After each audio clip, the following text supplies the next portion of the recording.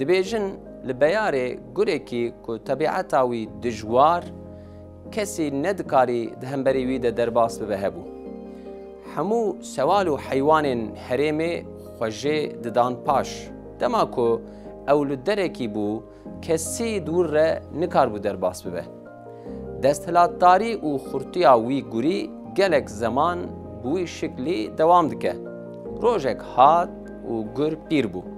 Diranên wî وشیان ئەو بەهێز و بێقوەت کرد کو حیوان و سەواالێن هەرێمێ ڕەوشا گورساکردن ڕۆژێکی هەسپێک هات لۆتک لویدا و هاگۆ گورێنە قەنج تێبیراتە دەوەی ساڵی لە فلاندەرێ لە مێرگێ ئێریشی من کردبوو من بە زۆرە جانێ خۆش دەستێتە خلاص کرد گرش دەنگێ خۆ ناکە بەرێ خۆ بەربکانیە ددە و دوچە ئاواخۆ بەدخۆ çelekek tê balê peynek lê dixe û hat hey gurê bê edeb te çizu zû ji ku te wê salê golka min xwar beran hat poşek li da hago te berxa min wiha xwar li ser van bûyeran cihê ku gur pê de biçe namîne li ber van xwe tî birçi û jar mexel dibe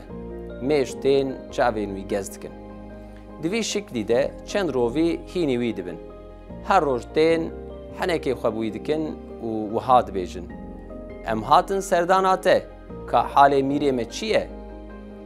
ئەو گورێ دەست هلاتدار و خورد و سیاوی تێرە حیوانان دکرد، ڕۆژ بڕۆژ بیر دبێ ji bêdirانî jar û bêhêz dimîne, her wiha hema roviyên herêmê بوی تنازو حنکیم خدکن تاکو روژه کی گرش جبرچینان دمره لسر وی مسئله مزنین نگوتنه دماکو گر پیر دبه دبه کشمره رووی بله تماشاوانین هیجا دوی ام تجاریش بیر نکن که هیز قوت و دستلاتداری نه ابدیه کسی که خودی هیز و قوت ابدیه بس خدا تعالیه کو دو وقت خود ببن خودی هیز و قوت دوی vê که جعالی باشیتیه استعمال بکن.